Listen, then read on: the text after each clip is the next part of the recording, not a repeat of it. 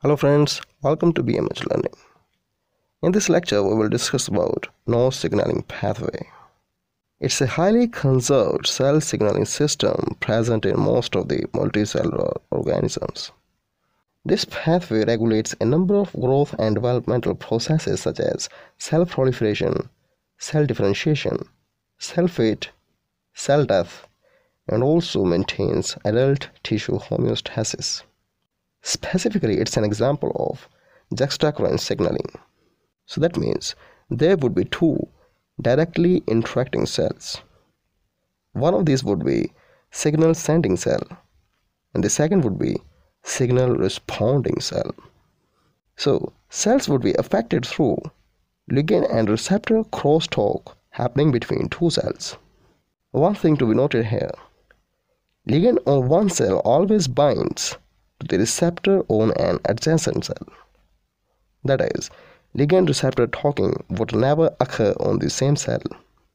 Now, the ligand present on the signal sender is named delta, and the receptor to this ligand found on the signal receiver is called notch.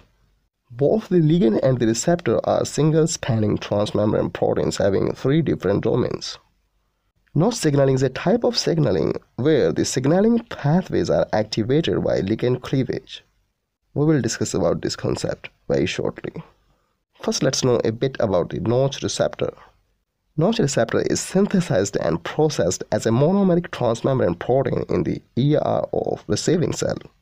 The protein then moves to the Golgi apparatus for further editing and processing, or simply say, for its maturation. Here in the Golgi, it undergoes a proteolytic cleavage, which results in the formation of an extracellular subunit plus a cytosolic transmembrane subunit. But until ligand binding, the two subunits remain non-covalently attached to each other. Now let's forget the synthesis process of the notch protein and assume that the receptor has been delivered at the cell membrane through secretory pathway. Initially, the notch is inactive. This is because its ligand is not approachable or it can be said the ligand delta is not in the range of receptor notch since it's under inhibitory or negative regulation by the protein called NUMB. Now due to some mechanisms not discussed in this video, the NUMB is released and hence its inhibition, which frees our ligand delta. The freed ligand then binds the notch receptor. Following ligand binding to receptor, the notch receptor on the responding cell experiences two additional proteolytic cleavages in a prescribed manner. Cleavage number 1 it's catalyzed by ADAM10, a matrix metalloprotease. The name ADAM stands for a disintegrin and metalloprotease. Actually, a disintegrin is a conserved protein domain whose function is to bind integrins, and it works by disrupting the cell matrix interaction. So, this membrane bound metalloprotease cleaves the notch receptor from here, releasing the extracellular notch segment. The released segment continues to interact with the delta surface. Following this, the delta plus the receptor extracellular domain complex is endocytosed by the ligand synthesizing cell. Now the second cleavage.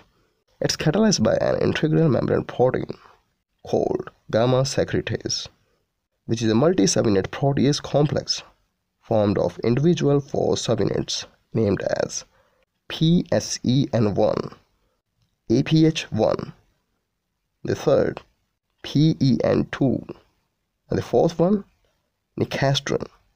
It's a special type of protease known as intramembrane protease. That is, the enzyme that has the property of cleaving transmembrane domains of integral membrane proteins. So that means this enzyme will make cut right here, which is a hydrophobic region of the notch receptor. The cleavage catalyzed by the secretase releases the notch cytosolic segment. The now free cytosolic domain immediately translocates into the nucleus where it influences transcription of various target genes. This was all. Thanks for watching.